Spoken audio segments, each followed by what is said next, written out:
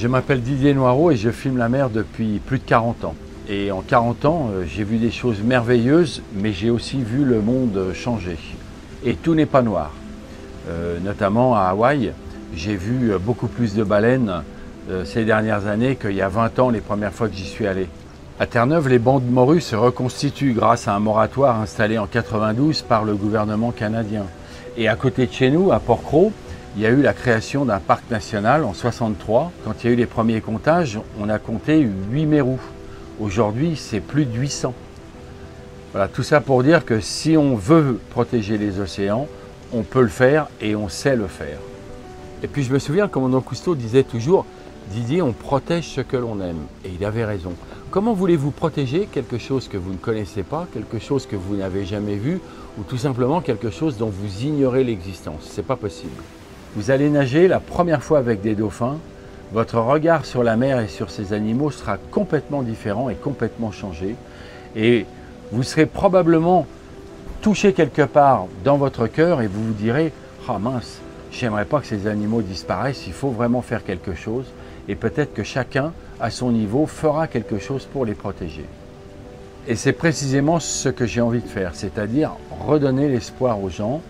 Comment? Ben, en filmant la mer, peut-être en la filmant d'une façon différente, avec beaucoup d'émotion. Et je vais en profiter pour bien rappeler, notamment euh, aux politiques, que si on prend les bonnes décisions, on peut sauver les océans.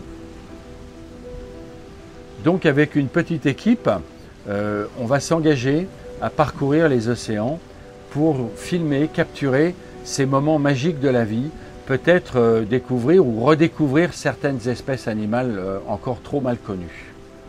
Nous allons appeler ce projet le projet Balthazar. Balthazar du nom du voilier qui nous emmènera dans les endroits les plus reculés de la planète. Regardez notre vitesse. 1 nœud 75, donc on va me dire, Noiro, tu te fous de nous là, on va jamais arriver. Eh bien si, justement, on va arriver. Si ça se trouve, on va avoir un souffle de baleine, une bande de dauphins qui vont venir. Bah, si on est en avion à 10 000 mètres au-dessus, on ne les verra pas. Euh, si on est dans un bateau rapide, on risque de passer sans les voir. Et si on est dans un bateau tout confort, on sera euh, tranquillement euh, en train de vider la réserve d'eau douce sous la douche, à faire de la mousse. Et donc on ne les verra pas non plus. Donc c'est pour ça que la solution, c'est Balthazar. C'est un bateau qui a fait ses preuves. Il est allé en Antarctique, il est allé au Groenland. c'est un bateau qui a voyagé.